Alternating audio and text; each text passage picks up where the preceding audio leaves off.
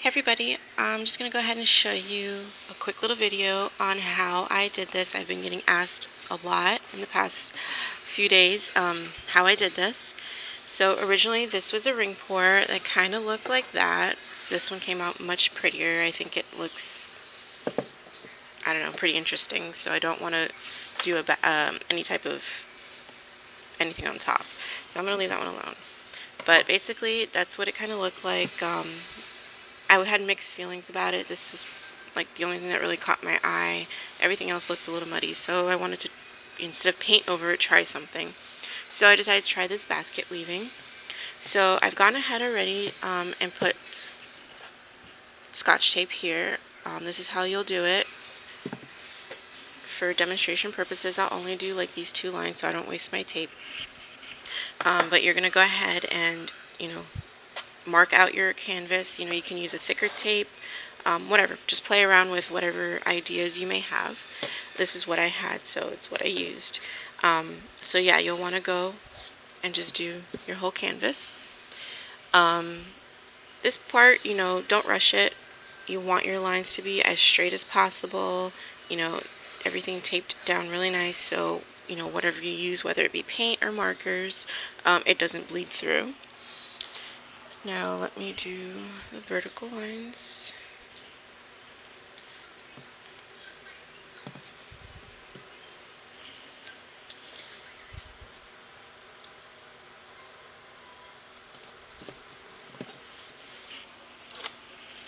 So you'll just do those.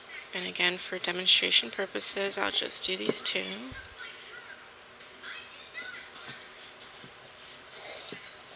Right, okay. So let's pretend the whole canvas is done like this. You can either go in with a pencil and mark out everything if you're going to take the tape off and freehand the lines or you can go in with this is what I used um, they're called Royal Brush Azul markers. They're alcohol markers that I got at Walmart. Um, they have two different types of tips. I went in with the skinnier tip and just basically marked out my lines, right? So when it comes to the ends here, like I didn't want a harsh line all the way through, so I'll show you what I did. Um, but basically you just want to do your whole canvas like that, and you'll get like all these little boxy lines, all of that. So with the ends here, I basically drew my line to like midway point. These markers come with what they called a blender. So you basically just take this chip. You can even do it once you take the tape off so you can see it better. But you basically just go over the line. Like I would start midway through and it kind of feathers it out. Sorry, it wasn't in frame there. It feathers it out. You can do that. Um, up to you. Play around with it. The original video I saw, she did use paint, but it didn't work out for me too well. I don't know. Um, I feel like I had more control with the marker. Now, once you get all your lines, then you're going to go ahead and remove your tape.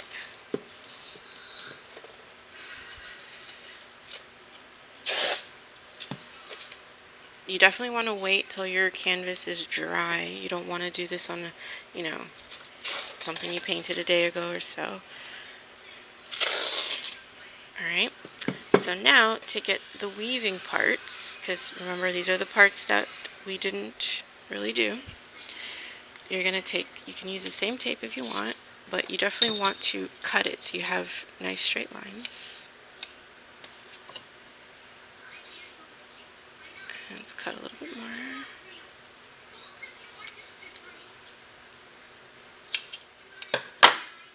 Okay. And now you're going to go over, even that's too much. This is where most of your time is going to take up. So now you're going to go over like that.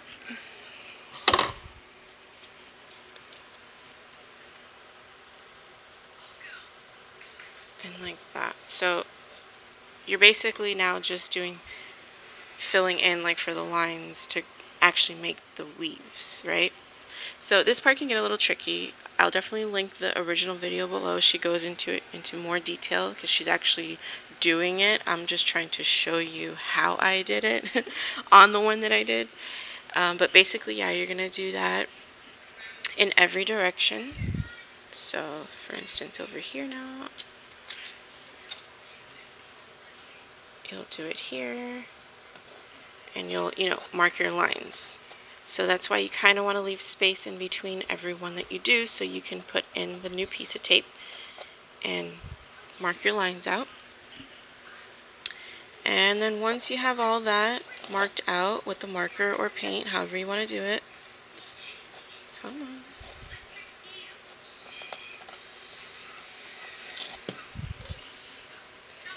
I went in with a charcoal and I basically went right on my line, went over the line with it, grabbed my blending stump,